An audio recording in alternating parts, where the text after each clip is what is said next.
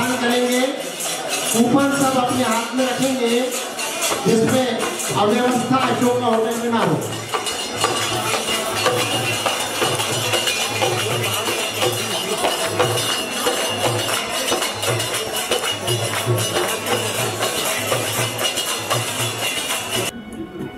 तीसरी रामायण कॉन्फ्रेंस का अगुवाई करने को जबलपुर को मौका मिला है। इसको आप किस नज़रिए से देखते हैं?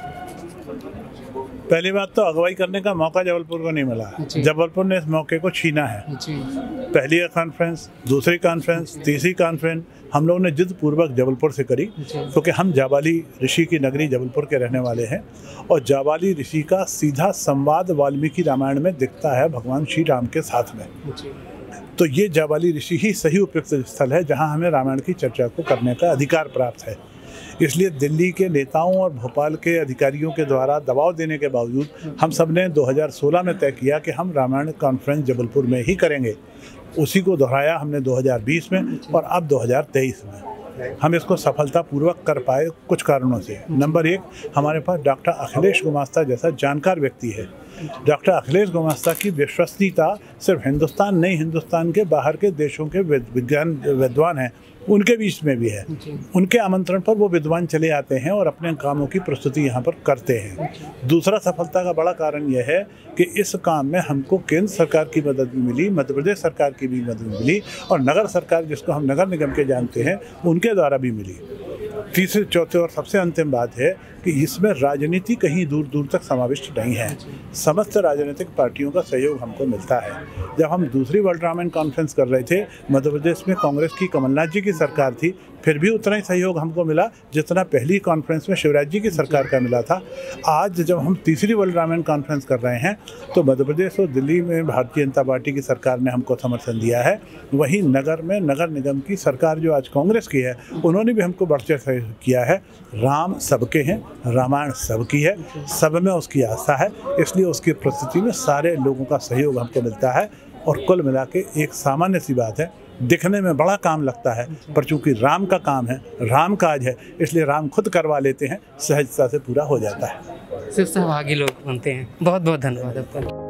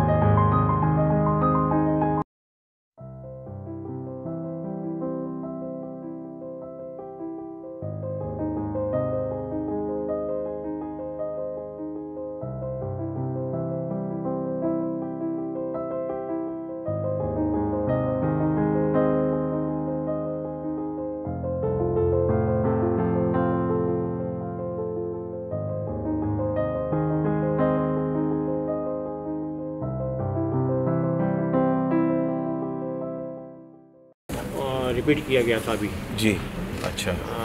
इलाहाबाद में दो हज़ार। अठारह में। उसमें लिफाफे एक हड़कारे द्वारा ले जाके प्रसंग को बोर्ड के द्वारा अच्छा। फिर जो श्री गेपुर गाँव में सुलाबाद तक लेके गए थे। हाँ जी हाँ जी। उसमें से कुछ कवर में से एक कवर मेरे पास में आया। क्या बात है सर क्या बात है सर। और ये फिर रामलला मंदिर का अयोध्या का दृश्य दिखाते हुए। जी हाँ जी हाँ जी। उसके अलावा फिर ये निर्माण का श्री राम मंदिर का जो भी चालू हुआ है उसके ऊपर। इसके अलावा और भी हैं मतलब जो जैसे कम्बर रामायण लिखी गई कम्बर द्वारा। जी। तो वो जगह नहीं होने की वजह से फिर लगाया नहीं यहाँ करके। हाँ जी। जगह नहीं है। थोड़ा सा बात कर सकते हैं हाँ बोलिए ना। सर बस एक क्वेश्चन है छोटा सा कि स्टैम्प्स अगर लेना चाहें तो क्या जब जीपीओ में अवेलेबल है आज? ये नहीं मिले। ये हो सकता है भाई जब पड़े हो लेकिन अभी अच्छा। संभावना कम है कि पाँच साल पुराने हैं दो हज़ार सत्रह में निकले हैं ना। दो हज़ार सत्रह वाले निकले हैं तो पाँच साल पुराने तो हो सकता है संभावना है कि और इतना खूबसूरत चित्रण किया है आपने। महर्षि भारद्वाज का आश्रम है यहाँ पे रास्ते में पड़ा था ये वाह वाह वाह वाह। हनुमान जी सर्च करते हुए हनुमान जी जब अच्छा। अशोक वाटिका पहुँचे। अशोक वाटिका। वो वाला दृश्य दिखाते हुए इसमें। और ये संजीवनी बूटी लाते हुए नीचे। हाँ ये संजीव बूटी ये हाँ। एक्चुअली क्या इस्तेमाल कर लिया है। इसका अच्छा। से फिर कवर को यहाँ पे अच्छा ये अक्षय वट भी दिखा दिया आपने प्रयागराज। ये राम सेतु बनाते हुए कंस्ट्रक्शन जब राम सेतु का चल रहा था अच्छा। ये डायरेक्टर करोगे दिखाते हुए बहुत अच्छा। फिर सीता पहाड़ी चित्रकूट हाँ जी। यहाँ भी रुके थे। हाँ जी। ये मतलब सीता रसोई है और काफ़ी कौवा खो भी कहते हैं इसको। अच्छा कोवा खोव कौवा खो अच्छा। इधर आप आएँगे तो यहाँ पे ये अपना हनुमान जी सभी चले जाते हैं जी, जी, जी। जी। जब लक्ष्मण जी को जो चोट पहुँची थी उनको बताएगा कि इससे वो जीवित हो जाएँगे। हाँ। तो हनुमान जी गए उनको जब समझ नहीं आया तो उन्होंने दोनों पर्वत भी उठा लिया पूरा। का पूरा। लेके आके लिया प्रदेश में फिर महर्षि वाल्मीकि जी आश्रम लाल लालापुर चित्रकूट पहुँचे थे। अच्छा। यहाँ भी उन्होंने स्टे किया। वाह। यहाँ पे वाल्मीकि सेन की मुलाकात हुई थी। जी जी। अच्छा। यहाँ पे आएँगे तो राम राम रावण युद्ध का परिदृश्य है। वाह। वानर सेना दिखाई गई है। आप जो इस रामायण कॉन्फ्रेंस में स्टाम्प का कलेक्शन देख पा रहे थे उस संग्रह को करने वाले महानुभाव हमारे साथ हैं और उनसे इस बारे में जानने की कोशिश करते हैं। सबसे पहले तो मैं ये जानना चाहूँगा कि ये जो प्रेरणा है आपके अंदर कैसे उत्पन्न हुई? भाई रामचंद्र जी अपने को एक आदर्श रूप में हम उनको मानते हैं। जी। उनसे हम काफ़ी सीख लेते हैं। जी। उन्होंने अपने पिताजी का कहना माना वन प्रस्थान पे गए। काफ़ी उनने ऐसे आदर्श प्रस्तुत किए कि जो अपने जीवन में अनुसरण करने के लिए बहुत ज़रूरी है। इसीलिए हम उनसे प्रेरणा लेते हैं।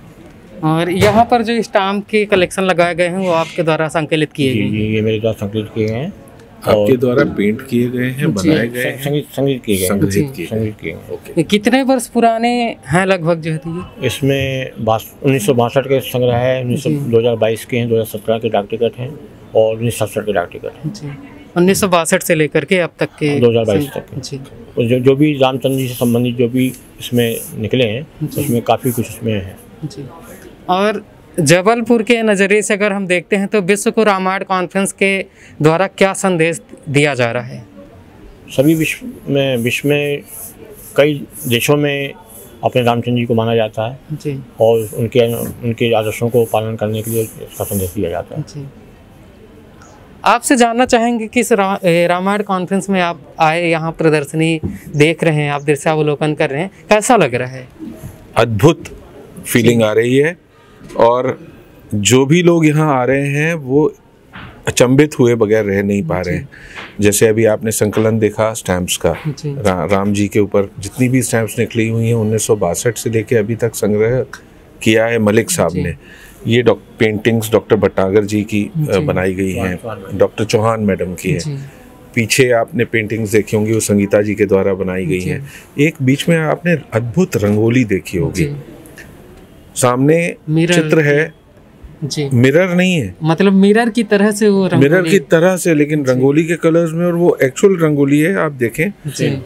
जो अभी देखने आए हुए पिछले तीन दिनों में कुछ लोगों ने लोगों के कपड़े लंबे होने की वजह से चुनरी वगैरह या इनसे शॉल वगैरह से वो थोड़ी सी खराब भी हुई है यदि आप देखें। यानी इतना अद्भुत काम यहाँ पे है। और आप मुखौटे आपने देखे होंगे।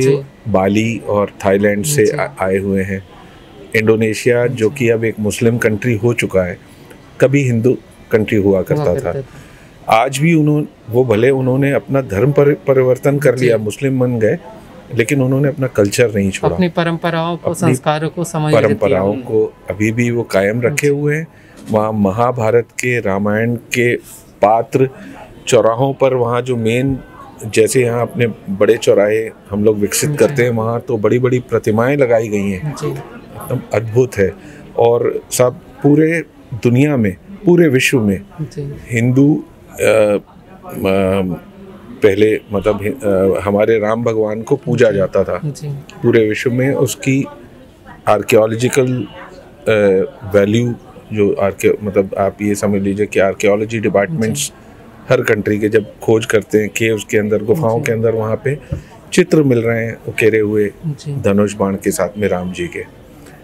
तो ठीक है धीरे धीरे हमारा धर्म चूँकि हम लोगों ने हिंदू हिंदुओं ने परिवर्तन नहीं किया किसी और का लेकिन दूसरे धर्म परिवर्तन करते गए। तो आज पूरे विश्व में आपको बहुत सारे धर्म दिखते हैं लेकिन मूल धर्म जो सनातन धर्म है श्री राम जी हमारे और उसी से संसार के सारे धर्म लगभग प्रभावित और पल्लवित होते हुए दिख रहे हैं। सच्चाई है भाई साहब। और पहले और दूसरे कॉन्फ्रेंस में भी आप यहाँ पर आए थे हाँ जी ये तीसरी वर्ल्ड कॉन्फ्रेंस है। तीनों में मैंने पार्टिसिपेट किया है। जी। हाँ जी अद्भुत है। मतलब धीरे धीरे हर बार कुछ नया देखने को मिलता है। डॉक्टर गुमाश्ता साहब ज्ञानेश्वरी दीदी हमारे विष्णुई साहब इनकी अथक परिश्रम से ये संभव हो पाया। है बहुत बहुत धन्यवाद धन्यवाद।